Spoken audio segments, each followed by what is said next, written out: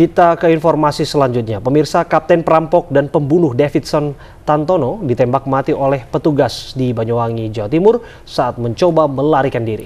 Pelaku berinisial SP diketahui sebagai eksekutor atau penembak Davidson Tantono di SPBU dan Mogot beberapa waktu lalu.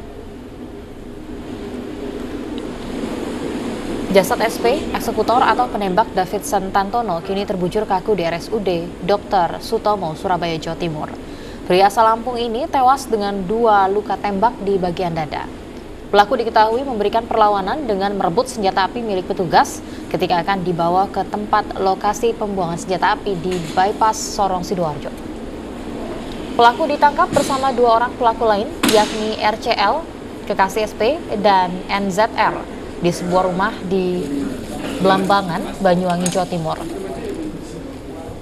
Selain mengamankan dua pelaku lain, petugas berhasil mengamankan barang bukti, uang tunai 6 juta rupiah, dan sejumlah handphone.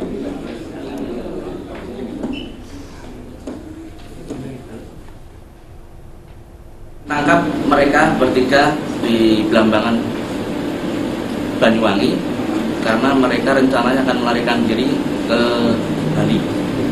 Alhamdulillah sebelum mereka sempat melarikan diri ke Bali kami berhasil tangkap dari keterangan SFL pada saat kita tanyakan senjata apinya ada di mana SFL menyampaikan bahwa senjata dibuang di bypass Porong Sidoarjo di jalan bypass Porong Sidoarjo.